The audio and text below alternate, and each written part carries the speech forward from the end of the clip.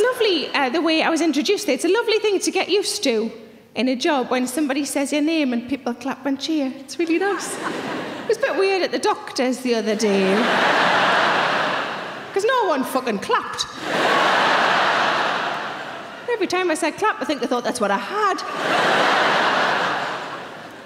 But I was having a bit of a faff on Twitter backstage. Give us a cheer if you're on Twitter.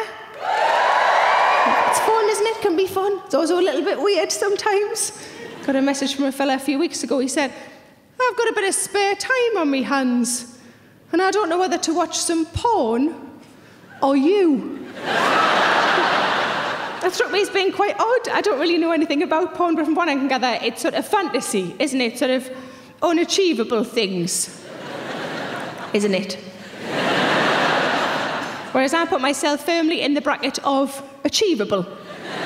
So that man's fantasy is a middle aged, slightly overweight woman who just witters on. just wander around Asda, there's hundreds of me.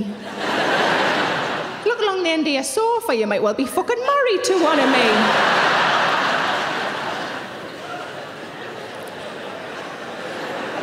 But I live in a flat, I live in a block of flats, and I came out the front door a few months ago and there was just a shoe on the pavement. You've all seen that happen, just a lone shoe. And you just think, "Eh, I wonder what happened there. and then you carry on with your day, which is exactly what I did. But a week goes by, and the shoe is still there. It's now joined by a man's shirt. a couple of days after that, same shoe, same shirt, pair of man's pants. Now that is one woman just really slowly dumping her boyfriend. Am I going to come out in six weeks' time? There's going to be a big pile of clothes and just a severed cock on the top. I mean, I haven't dumped anybody in a while. Is that still how we do it, girls? Is it? Yes, it is. Oh, good to know. Thank you.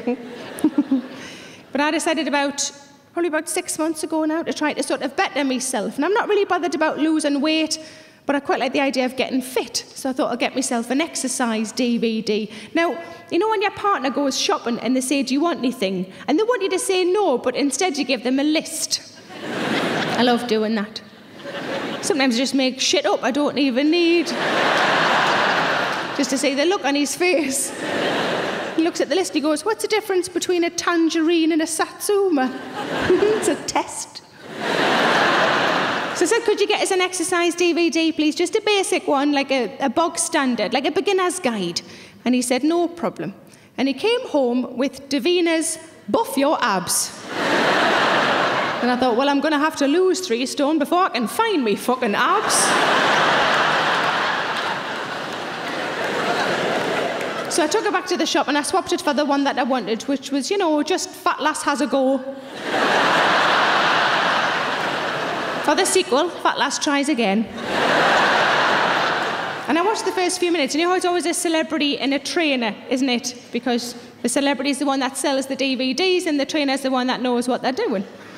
I watched the first few minutes. They were both laughing at nothing. It was very unnerving. And the trainer said to the celebrity,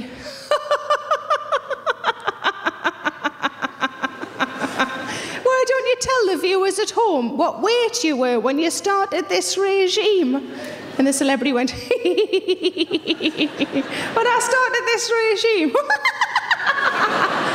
I started this regime, I was 10 stone.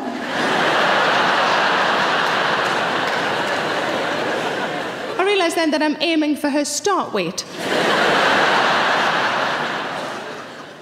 but my friend said to me, just get some exercise equipment. If you buy it, you've got it at home, you'll use it all the time. And I thought, bless her cotton socks, she's got no idea. She? That's not how it works at all, is it?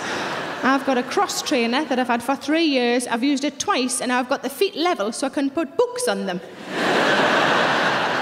But my friend said, get a treadmill. She said, treadmills are really good. Give us a cheer if you've never owned a treadmill. Exactly, because we clearly know something that she doesn't, that you can still have the benefits of a treadmill without having to actually buy a treadmill. All you need is some socks and a slippy floor.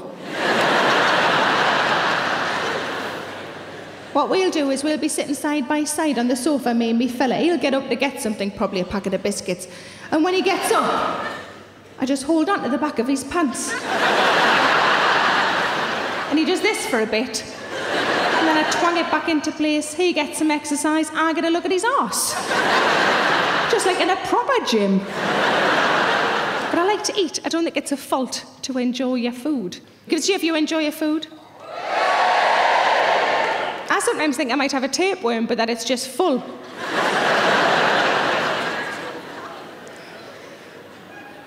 I, uh, I went into a milkshake shop and they had uh, on the wall like a menu of all the milkshakes that were on offer.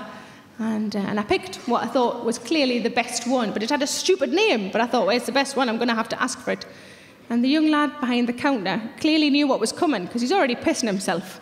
and I built up all my courage and I went, Can I have a large? Can I have a large shake what your mama gave you? and my boyfriend, quick as a flash, just went, What, asthma? but I had a pie the other day. The other day. I had a pie every day. and as I was eating it, I realised I was enjoying the pastry more than the meat. That's quite weird, isn't it? It's like somebody giving you a birthday card and you're keeping the envelope. it does make sex a lot easier, though, because if I'm horny and on my own, I just suck a condom. oh, that's a bit too much for some of you, isn't it? But severed cock was champion, was it? but I am trying to eat more healthily. I am trying. Uh, I went to the supermarket recently with my friend, and uh, we wanted to get some crisps. And uh, we wanted to get the proper size bags, you know, not, not like the little ones that you get for when bairns around. Um, you know what I mean? Like the proper adult bags, you know, the ones that you've got to empty into a bowl that you'd normally mix things in. My friend spotted that there was an offer on, and she wanted Doritos, and I wanted Sensations because I'm a bit posher than she is. And. Uh, but the two for one offer didn't go across brands, and we were quite sad by that. And she said, You know what we should do? We should just, we should just get two bags of each. and I grabbed her hand and I went, You know what?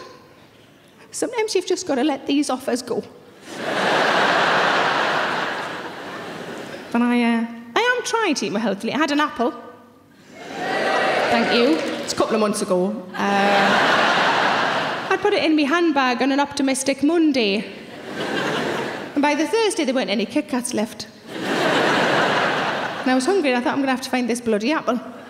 So I rooted around in my bag, and I found it. It was prematurely bruised and battered because it had been in my bag for so long. And it had pen on it. but I was starving, so I peeled off the clean panty liner and I ate it.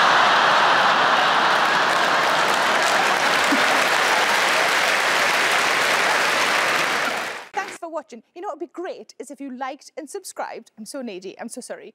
Uh, and why not come and see me live? And the tickets are available at sarahmillican.co.uk. Put the kettle on and settle in.